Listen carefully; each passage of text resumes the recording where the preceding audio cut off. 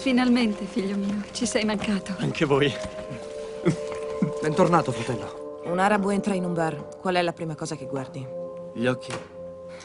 La cintura, allora. Salutami tuo padre.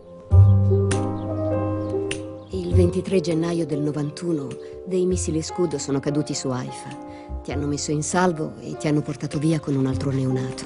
E nel panico sono stati scambiati i bambini. Vuoi dire...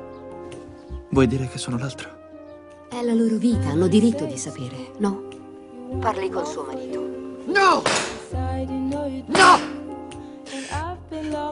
Dovrò scambiare la mia kippa con una cintura esplosiva.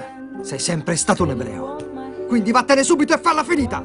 Non parlare così, non dirlo.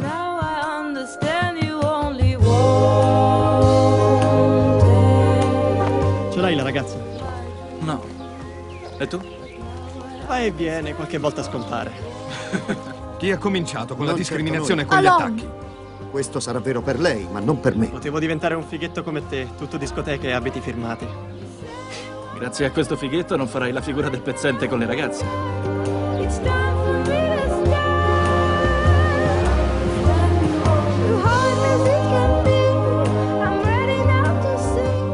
Non è più mio fratello. Apri il tuo cuore, Bilal. Le grandi prove sono fatte per i grandi uomini. Non ho più il diritto di essere ebreo e non mi sento arabo. Se potessi scegliere, tu cosa vorresti essere? James Bond.